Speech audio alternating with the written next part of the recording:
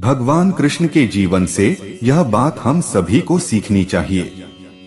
दोस्तों, जन्माष्टमी केवल कान्हा के जन्म का दिन नहीं है। संसार में प्रेम और कर्तव्य के नियमों के अवतरण का भी दिन है। राधा के हृदय में प्रेम स्पंदन उत्पन्न करती एक मधुर वाणी है, कृष्ण तो महाभारत में रथ पर सवार अर्जुन को ललकारती एक उत्तेजना और तेज से भरी आवाज़ भी है कृष्ण। संसार का यह नियम है जब अंधकार छाएगा तो कहीं दूर सूरज भी जन्म लेगा। जब अन्याय सिर उठाएगा तो उसका अंत भी कहीं से शुरू होगा।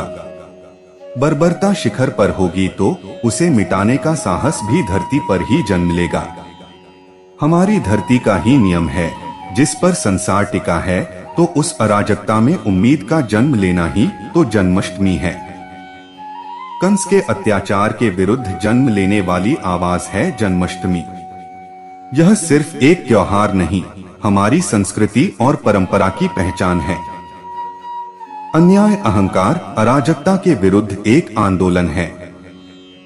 भगवान श्री कृष्ण का जन्म लेना ही हर मायूस दिल में उमंग और उम्मीद का भर जाना है। जन्माष्टमी पर एक बात कान्हा ने हमें सिखाई है, अध्यात्म और कूटनीति के बीच का रास्ता है, अन्याय के विरुद्ध जीवित रहना। अपने को सुरक्षित रखना, अपने विचारों को परिपक्व होने देना, अपने को पोषण देना और अपनों के बीच रहना। जन्माष्टमी की रात ही हमारे कान्हा को देवकी का आंचल छोड़ना पड़ा। क्या इस पीड़ा को नहीं समझा जाना चाहिए? जन्मी से बिछड़ते शिशु की आवाज़ को सुने बिना व्यर्थ जाने देना चाहिए। नहीं, यही तो कान्हा ने पहला संदेश दे दिया था कि बड़े लक्ष्य के लिए, संसार के लाभ के लिए, शांति की स्थापना के महामार्ग पर पहला कदम है, त्याग। गोपाल ने बतला दिया कि अराजकता के विरुद्ध खड़े होने की पहली आवश्यकता है। स्वयं को जीवित रखना और अन्याय के विरुद्ध सगे संबंधियों से भी लड़ना पड़े तो लड़ना। यहाँ एक बात और समझने की है यदि भगवान कृष्ण स्वयं अपने अत्याचारी मामा कंस के विरुद्ध न खड़े होते तो महाभारत के युद्ध में अर्जुन को अपने अन्यायी भाइयों के विरुद्ध खड़े होने का संदेश कैसे देते? केवल कान्हा के जन्म का दिन नहीं है, संसार में प्रेम और कर्तव्य के नियमों के अवतरण का भी दिन है। राधा के हृदय में प्रेम स्पंदन उत्पन्न करती एक मधुर वाणी है कृष्ण तो महाभारत में रथ पर सवार अर्जुन को ललकारती एक उत्तेजना और तेज से भरी आवाज़ भी है कृष्ण गायों को चराते गोपियों के बीच बांसुरी बजाते कृष्ण हैं, तो दूसरी ओर सुदर्शन चक्र चलाते भी कृष्ण हैं। यह जो जीवन के दो छोर हैं, यही जन्माष्टमी का संदेश है एक और जन्म का उत्सव है तो देवकी से दूर होते कान्हा भी हैं। माता यशोदा का प्रेम और नंद की छाव भी तो है। कान्हा का जीवन ही तो संदेश है कि सब दिन एक तरह नहीं रहने वाले, ये दिन भी चलते जाएँगे। बस तुम उस लक्ष्य को थामे रखो, जिसके लिए तुमने जन्म लिया है।